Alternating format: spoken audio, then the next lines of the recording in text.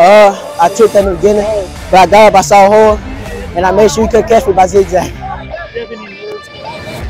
Not really. I got a great coach. He prepared me for this moment, and I just went out there and did what I do.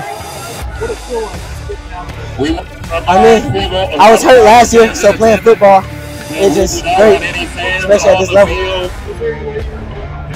No, it was not. How cool was it to help this team get back to the state championship game? It was amazing. I started quarterback, got hurt. I just came in, I performed, I helped, and I got the team win.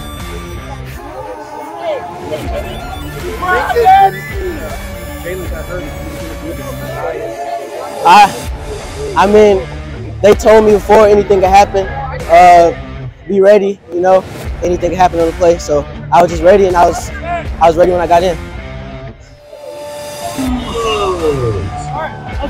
Yeah, it feels good, man. Proud of our football team, man. They battled through some adversity, you know, and uh, man, it's, it's proud of our guys. They stayed in there and fight. They, they believed the whole time, and so man, just super happy for them. How about Aaron's performance?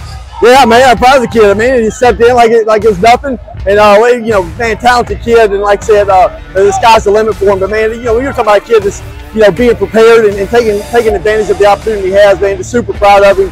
Uh, man, it's, it's, it's made the world of that kid. How important was it to get off to a good start tonight? Yeah, it was very important. And again, Parker was a great football team. So we knew that, like, again, you know, we, we didn't let them kind of hang around. We need to get ahead and make them try to play from behind because that's just kind of not their game. Um, but, uh, man, our guys did a great job. Seemed like your defense was. Yeah, they're on point like always. I mean, again, they, they, they, they play super hard. They're physical. Did a good job tackling. You know, limited big uh, big plays for the most part. And so, again, man, hats off to the defense.